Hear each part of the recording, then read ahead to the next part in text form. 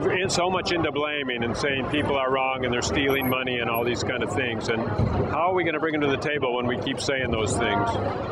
Well, America will never be brought to true justice for its crimes. Uh, and America will never be brought to justice uh, because you are exactly right. Uh, they will always run from the issues long as we expose the issues to them. Uh, I believe that this country here will remain to decay until we have an overthrow of the politicians who we have in office now today. We experienced that when we saw the Democratic Party take office. Now we have experienced these same Democrats mistreating us as worse as the people who were placed out of office. I, I thought Barack Obama was new blood. Well, Barack Obama used a powerful message about change.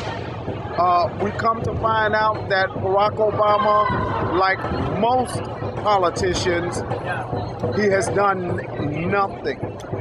Nothing for his change. Not with our criminal justice system, not with our economics, not with our police that are out of control. Barack Obama basically has supported the system on every hand.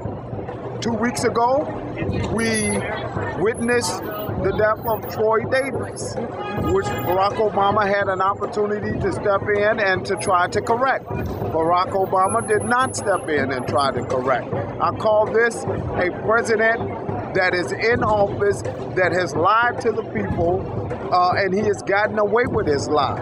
Barack Obama will probably do another four year term because who do we have to vote for? Could it be that really a man in the presidential office can't ever vote against the banks because something will just screech to a halt and uh, the repercussions will be so great that everybody will be really in uh, very deep pain? Well, in this particular instance, the U.S. government did have an opportunity to correct uh, how this corporate greed was uh, taking place. Barack Obama did give them a sharp tongue whooping, but he still used taxpayer dollars to bail them out, and now the banks are bailed out. We haven't seen no change.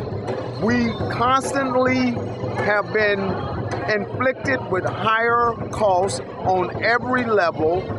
There are, according to the NPR News, there are at least 300 people right in Chicago every week who lose their jobs. When you lose those jobs and this country's economy, we're collapsing and we're collapsing fast.